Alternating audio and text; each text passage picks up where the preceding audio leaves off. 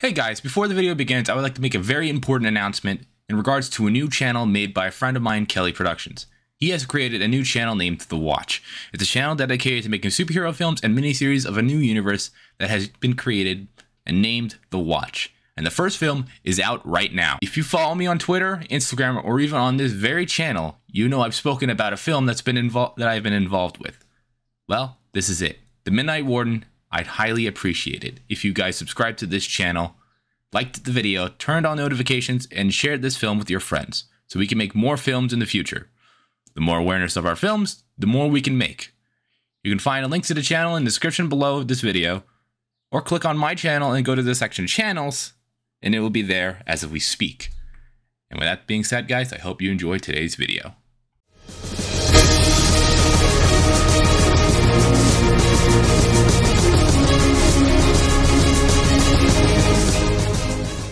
What's going on, buddy? My name is ZealetPrince, and welcome back to yet another reaction video.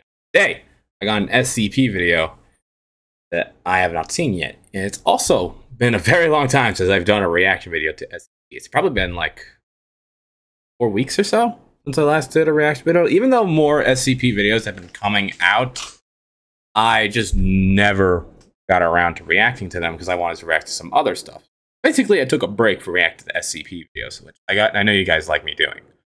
But gonna refresh that. This this is SCP 2951 named 10,000 years. It's not like the last one I remember watching where it was the devil and well devil statue that was in underground that got lit on fire and woke in the entity. Now this is a different different this is a different entity altogether. It's I don't think it's related at all, honestly. But we'll just have to find out, won't we? So with that being said, guys, get right into this video in three, two, one. Mining is one of the most dangerous professions in the world. Got that right. While advances in technology and safety protocols have certainly eased the load that these hardened laborers endure, it still remains a daring, backbreaking endeavor where yeah. accidents do happen, and your safety is never 100% guaranteed. But mining is also mm -hmm. a less common profession in the United States today, with mines incorporating really? more technology and less overall manual labor. But it wasn't always that way. In the 19th and early 20th centuries, mining companies employed hundreds of thousands of workers across the country. Yeah. Before large machinery could mine surface pits and maneuver large-scale explosives from a safe distance, mining was done manually, yeah. performed by teams of thousands of workers tirelessly, slaving in the dark, digging for mm -hmm. precious resources such as coal or limestone, all while being underpaid, overworked, and continually endangered on the job. Mines yeah. were operated by mining companies, who often took a large cut of a miner's paycheck. A 1902 account of a coal miner's paycheck claimed a $1.60 daily salary for a 10-hour shift. Even when adjusted for inflation today, that only comes out to $4.50 an hour, Jesus. which is below the United States minimum wage and some of that money would be taxed or given to the company for providing housing for the miners' families in company towns, located adjacent to the mines. While some companies were better than others in terms of safety, unionizing and demanding better pay or conditions was frowned upon, and there was always the risk of being kicked out of the town by the company if you were caught attempting to do so. Because of the mm. demand and cost of living, boys as young as age 9 worked in mine shafts in grueling conditions, this yeah, treatment was, was a driving force in necessitating child labor laws. And worst of all, accidents in the mines were all too common in the early 20th century. Mm -hmm. Mining involves the usage of explosives to carve out new sections of rock to mine.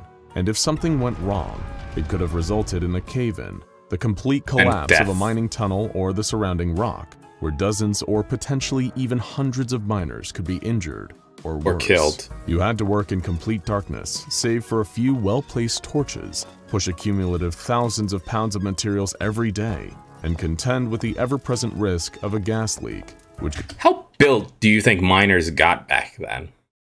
Like from working in the mines all day, how built do you think some of them got? Just by pushing material up and down the mine rails, up to the surface, and then back down. Like you're talking about thousands and thousands of pounds of rock. We're not talking anything like cheap. We're talking about pure rock and minerals of iron ore or bronze, whatever was much more valuable back then. I think it was bronze that was much more valuable. Could be actually I could be wrong. What was the most valuable ore back then? Like during like the I don't know, let's say medieval times? Was it iron ore or was it bronze? Or anything in the general. What what which one was the most sought out sought out of back then? I don't know. could suffocate workers in a cramped, narrow shaft, or even result in an explosion when coming into contact with the materials used Yeesh. during blasting. In 1917, 2,696 coal mining deaths were recorded as a result of various causes. And Yeesh. that was just one year of many. The Yeah. underground has claimed countless lives as a result of human greed prioritizing profits and material output over safety. over It's an safety. area of nature. Safety back then was not seen as the top priority back then. Because people just were greedy and wanted to make money off of what they were getting. But over the last couple of uh, decades, safety became one of the top, most highest sought out priorities for my for workers work where they are. I think it started in the 19th 20s, early 1920s, when safety regulations were starting to be put in for mining. I could be very wrong. I don't know much about mining. But someone who does know, or I'll probably just look it up after this video, it's mine re- safety regulations start getting implemented. But I'm probably that's what I'm going to look up. nature we were never truly meant to interact with, and the sheer number of things that can go wrong in a mining operation proves that. Mhm. With all this death, danger, and darkness, it's no wonder that the mining industry is the center of a blood curdling anomaly that caught the attention You know what? I forgot that this was an SCP video, and I've mostly just been ranting about mining conditions and the last three minutes, or six, or four minutes, and we're already like seven minutes into the video. of the SCP Foundation. Today on SCP Explained, we'll be taking a look at SCP-2951, an anomaly given the elusive codename of 10,000 Years. It will, as the channel's name implies, all be explained in due time. Channel or document? The year is 1944. The Lemon Quarry, a limestone mine located near Guthrie, Indiana, is like countless others in the country. It's owned by the B.G. Hoadley Mining Group, a company that would soon find themselves with one less mine to manage and a lot of information to cover up and destroy. Up until now, the operation was proceeding smoothly, with the quarry's limestone deposits providing rich beds of materials to export and sell. But all of that was about to change. On August 23, 1944, an earthquake occurred directly underneath the Lemon Quarry. Seismic activity in Indiana is strange enough, due to the area's solid limestone foundation and lack of fault lines, but it was Hmm. about to get a whole lot stranger. Naturally, the company sent in an exploratory team to assess the damage of the structure, fearing that the limestone deposits were caved in or destroyed in the process. Yeah. Three What about later, lives? The team returned to the surface, reporting that an important access tunnel had collapsed entirely. The tunnel was a necessary section of the mine shaft, and the company supervisors couldn't afford to lose it. So a larger team of workers were ordered to clear the debris from the tunnel using their hands and as much large machinery as they could fit into the narrow shaft. Yeah. During this operation, another strange earthquake occurred, causing a tunnel to collapse behind the crew clearing the access tunnel. Uh-oh. The quarry was sent into a panic. Another team was sent in to remove debris and attempt to free the initial clearing crew. After four hours of tireless work, they were successful, and the clearing crew was saved. But the original access tunnel was still blocked. This is when it gets strange. The crew hmm. also reported that due to the earthquake shifting the cavern, a new tunnel, one that hadn't been cut by the mining group and was not charted in the company's records, was opened. During hmm. exploration of this newly discovered tunnel, it was described as being smoothly cut and descending on a slight decline. The mining company speculated that this may have been a tunnel cut by a mining group prior to the quarry's purchase by B.G. Hoadley that wasn't properly recorded. They hoped it would connect around to the primary, still blocked tunnel, and so they assembled another team of 23 men to use the new passage to access the rear of the blockage and determine whether or not to use explosives to gain re-entry into the blocked tunnel was viable. And this is where the details of the story run short. Sometime afterwards, there was a third round of seismic activity, this time Another collapsing the mine's entrance tunnel. Over the Oh, next boy. three days, teams above ground removed rubble and debris covering the entrance, and the company's supervisors attempted to contact the men located underground using a telephone cable line that ran into an access shaft in the mine. On the evening of the But even if there was a phone line going down into the mine, wouldn't have to cave in lines still part under the ground itself? What would they try and call them if the lines themselves are cut off? Day, an unknown individual emerged from the secondary shaft and made it to the surface. What happened next is unknown, but due to their collection of information regarding the Lemon Quarry incident, the Foundation discovered a single telegraph wired from the quarry to the mining company's head offices in Louisville. It read 26 8 1944. Mine abandoned. Tunnels remain collapsed. 23 lost. One of them came up the shaft. We tossed it back down. Wasn't right. Sometime Wasn't right. after this, B.G. Hoadley sold the quarry, where it sat abandoned for decades, and the events that occurred hmm. there remaining hidden and forgotten until June 4, 1998, when low seismic activity was detected outside of Foundation Facility Site 81. Foundation geologists were dispatched to assess the situation, but were unable to determine much information, including where the activity was coming from. Two weeks later, a missing person report was filed with local law enforcement, where a 15-year-old boy disappeared after he and his friends were trespassing in the Lemon Quarry. While search efforts were conducted, the boy remained missing. But during those searches of the quarry, it was discovered that there was an unsealed shaft located beneath the mine's above-ground maintenance building that led directly into the mine itself. A rescue team was lowered into the shaft. After all, it was possible that the boy could have fell in and was still down there. But due It's to the always a unexpected possibility, but because it's the SCP Foundation, that kid is long dead. depth and length of the access tunnel, the team had to wait until longer ropes and safety harnesses were available. The estimated depth of the tunnel was 120 meters, but the Wow. rescue team reassessed those numbers after exploring the shaft, finding them to be closer to 240 meters. Still, Eesh. the boy was unable to be found, and the rescue crews reported feeling agitated, as well as having doubts about the perception of the mine around them. The five man rescue crew reported there being seven or eight members of the team, and one of the men reported that they were in the mine to look for gold and not the missing boy. After 43 minutes, the team went radio silent and ceased responding to communications. Above ground, the teams retracted their tether, but found that more was being retracted than had gone down the shaft. After retracting hmm. 400 meters of tether, the winch was overwhelmed and came to a stop. It was these events that alerted the SCP Foundation about potential anomalous activity in the Lemon Quarry. The Foundation took control of Yeah, because you because you if the line mine itself going down is 240 meters and you see 400 meters back worth of rope, that is not regular mine, my friend. the rescue efforts, posing as a federal search and rescue team. They were successful, somewhat, retrieving two of the five men, who were still connected to their tethers, but less connected to their minds. One man became hmm. violent when he reached the surface and began to physically attack Foundation personnel, believing he was still deep within the mine. The other man was originally believed to be comatose, but after 20 minutes of unconsciousness, he began speaking unintelligibly in a voice that wasn't his own.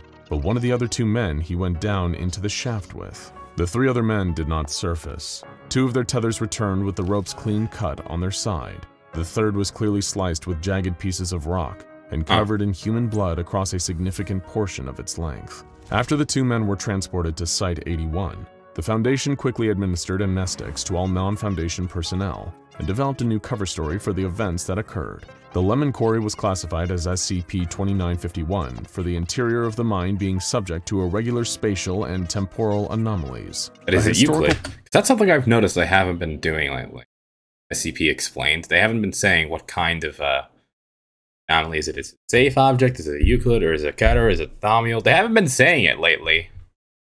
And I never know which one it is. A probe into the B.G. Hoadley Company and the 1944 incident was launched, and inside SCP-2951, the Foundation dispatched four members of the Mobile Task Force Trotter 5, a squad named Hell's Heroes, to further analyze what was occurring in the underground. The team entered the mine through the secondary access shaft and was ordered to spend no longer than 40 minutes in the mine. There was, though it remained unlikely, the slight chance that they could recover the three lost search and rescue members and the missing boy, though the Foundation wasn't holding their breath. No, it, it was just well a possibility. How strange, mysterious, and dangerous anomalous locations can be. The task yeah. force descended, and after a quick mic check to determine that their recording equipment was working, they moved further down the shaft. It was dark and unnaturally deep.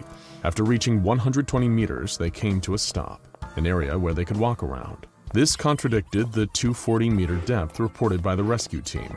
The task force looked for tether hooks or any other physical evidence from the original team, but they only found footprints. Moving around the dark winding area, they began to explore. It wasn't long before the operatives became disoriented. Keeping in mind their 40-minute limit, one operative started the clock, and the captain ordered him to let him know whenever 10 minutes had passed. While exploring, they noticed two tether lines up against a wall of rock. They took pictures and moved on, descending deeper. The timekeeping soldier reported that they clocked in 10 minutes, but the others felt like it had been longer than that. Coming to a narrow, tight mm. access shaft, the team determined that they needed to move single file. While significant time was passing, the timekeeper only reported that they had been underground for 17 minutes. Being skilled in anomalous exploration, the team members realized that there was something wrong, and that this was most time move faster in the mine anomaly.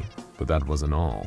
The team began seeing flashes of light in the distance and hearing noises beneath them. They made the decision to pull out of the shaft, and after moving towards the light in front of them, thinking it was from the surface, they found that they were no closer to leaving than they had been when they entered. The clock still displayed a time of 17 minutes, and trying to figure out where they were in the shaft was becoming next to impossible. As it couldn't get any worse, the team's flashlights and headlamps began dying out. Now the task force was completely in the dark, and they could only move downwards. They weren't sure where they were going, but they were certain it was going down. The sensations of the cavern were growing stronger, strange smells, something unclear written on the walls of the cave. The clock now displayed 13 minutes. The operatives began repeating themselves, stating the phrase, too long in the fire, over and over again. It was a nightmare, but the team soldiered onward, dazed by the shaft's anomalous effects. Just when they were able to see the surface light again, they noticed something. There were more members of the team than they originally started with. Three of them, mimicking the others' voices, oh. wearing their uniforms. One of the entities appeared as if it were on fire, smoke smoldering from its back. Repeating that phrase over and over again, the captain ordered his men to shoot at the imposters, firing at them in the dark. But the shots missed and accidentally hit oh. something that caused a violent combustion, causing all recording devices to cut out and the Foundation to remove the task force from the shaft entirely. All four members were recovered and given a medical evaluation. Nice. The entities that impersonated... It seems like the uh, mind itself finds a way to mess with time and distort mind itself around them, but also creating duplic duplications of them and evil versions. Seems like to me Did and attacked the task force, however, were unable to be found. During an interview with one of the recovered operatives, he claimed that the team was losing track of time, but was shocked to discover that while their recorders were active for a total of 5 hours and 33 minutes, they only spent 19 minutes total in the mine altogether. A strange anomalous time dilation effect between the surface and the underground. The yeah. operative was unable to determine the point when the entities, clad in their armor and badges, joined up with the group. The interviewing doctor offered the operative an amnestic, but he declined, stating that he'll only need it if he's still dreaming about the entity screaming at him with his own voice months later. Yeah. While the Foundation's exploration of SCP-2951 revealed the anomalous effects of the shaft, the historical investigation also bore fruit. They learned really? the story of the 1944 collapse that caused B.G. Hoadley to sell the mine, but they also learned another important piece of information about the Lemon Quarry. The Foundation recovered a contact list in an abandoned Hoadley office that allowed the Foundation to make contact with Gorman Ellis, a retired Hoadley investigator who was cooperative and willing to meet with the Foundation agents knocking on his door. During the interview, the Foundation learned that Ellis was originally a foreman with the company, and both his father and his grandfather were associated with the higher-ups at Hoadley. When asked about the Lemon Quarry, Ellis said that while he never worked there, he did spend time there cleaning it up after the company had shut the mine down. Ellis recognized how strange an earthquake in the area was, but couldn't put his finger on anything strange about the collapse. He knew they lost a few men during it, but the incident wasn't talked about much. He told the agent to attempt to get a hold of a man by the last name of Barnes, who was also involved in the cleanup, and had contacts with the company who bought out the land after Hoadley sold it. Just when the agent was about to leave, however, Ellis remembered another piece of information. The cleanup that he had worked on had over three dozen men working at the same time, but Ellis said that it was the quietest job he had ever worked. In fact, Yeah, he wasn't no sure mines. if a single one of them said anything to him the entire time he was there. Mines are not at all quiet. They are always ruckus and loud. The Foundation received a number of personal documents from Ellis's contact Barnes in the form of letters that detailed the Lemon Quarry's sale to Curver International. The incident was described as a typical cave-in, but also detailed that strange men in suits appeared at the scene weeks after, asking questions and attempting to listen to the rocks, according to the letter. After Huh. this, Curver International, a mining group that the Foundation has so little information on that they believe it is anomalous itself, purchased the Lemon Quarry. A letter Hmm. addressed to Barnes reads as follows I saw it myself, Jeremiah. I saw something that was like a man crawl out of that hole. It smoked and burned and cried out Like in a another's Burning Man. voice. It was a thing pulled straight from the pit itself. I have no doubt. That man from Geist said as much himself that the pillars that support the world will crack and crumble, and the foundation will become loose. What lies below will become accessible, and its might will fall upon the meek. I saw it with my own eyes. I know it is true.